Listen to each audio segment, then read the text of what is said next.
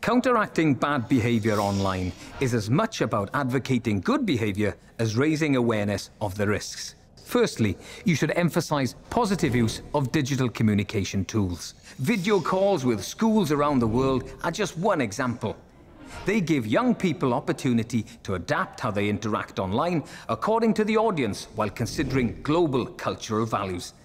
Secondly, if we're going to deter high-risk negative online behaviour, learners need to be able to recognise it.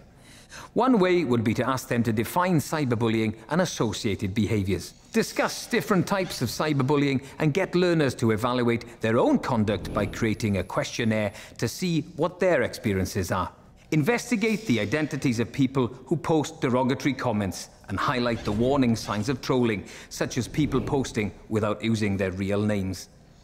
A class debate arguing for either criminalisation of trolling or freedom of expression would be a good way to introduce this subject. Learners should know the importance of developing active strategies for limiting exposure to high-risk situations. Use real-life examples of impact of cyberbullying on young people's health and well-being.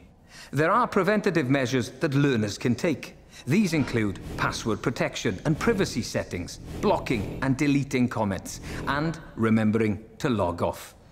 For the internet to be a safer place, we all need to make a conscious effort to ensure that what we do online is not harmful to either ourselves or others.